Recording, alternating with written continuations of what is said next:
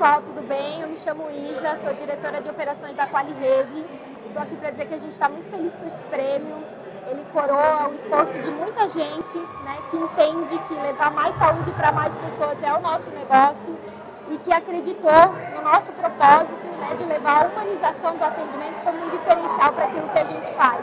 Né, no segmento da saúde, nós sabemos que isso é muito importante e o pessoal comprou essa ideia conosco e esse prêmio está coroando né, essa iniciativa é, e nos fazendo entender que nós estamos no caminho certo. Obrigada.